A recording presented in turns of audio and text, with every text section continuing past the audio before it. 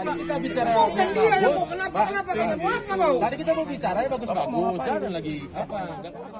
Warga yang bermukim di pinggiran Sungai Deli itu pun sontak terkejut dan ramai-ramai menolak penutupan jalan itu. Dalam penolakan itu sempat terjadi perdebatan dan perang mulut antara kuasa hukum pemilik tanah dengan warga. Salah seorang warga bernama Arbi menjelaskan bahwa dirinya bersama warga lainnya langsung menolak tindakan penutupan jalan tersebut yang dilakukan secara tiba-tiba. Arbi menyebutkan bahwa jalan yang diklaim itu telah berpuluh tahun dijadikan tempat akses para warga lingkungan 4 yang bermukim di pinggir Sungai Deli dan tidak pernah bermasalah. Arbi bersama warga lainnya pun berharap agar jalan tersebut tidak ditutup karena tidak ada jalan lain untuk keluar masuk. Wah, mereka datang, dia mau menutup akses jalan kita. Nah, jadi kita nggak terima. Cuma menurut mereka, katanya jalan itu tanah dia. Sekarang pula, dari dulu dia beli ya, nggak ada, udah ada pun pagarnya ini. Hari ini pagarnya dia. Tuh.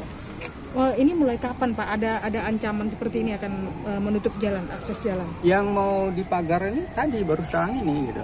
Kalau kemarin udah ada juga mediasi ke kantor lurah gitu kan. Kita kesepakatan memang nggak ada ditutup.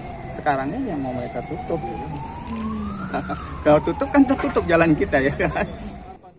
Sementara itu, kuasa hukum pemilik lahan Bambang Samosir mengungkapkan langkah pihaknya mau menutup jalan sesuai dengan sertifikat yang menyebutkan bahwa jalan tersebut merupakan bagian dari lahan kliennya sepanjang 43 meter yang berbatasan dengan dinding bangunan lainnya. Ia juga mengungkapkan lahan kosong tersebut rencananya akan didirikan bangunan oleh pemiliknya. Berdasarkan eh, sertifikat yang klien kita punya batas tanah klien kita itu sampai tembok ke sana. Batas tembok. Jadi ada niat klien kita untuk membangun lahannya ini. Tapi mungkin warga keberatan karena selama ini tanah klien kita ini dipergunakan untuk jalan. Jadi mereka keberatan itu aja sih.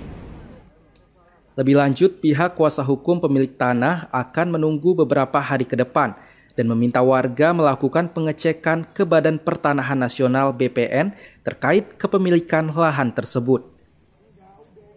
Dedi Tarigan, Kompas TV, Medan, Sumatera Utara.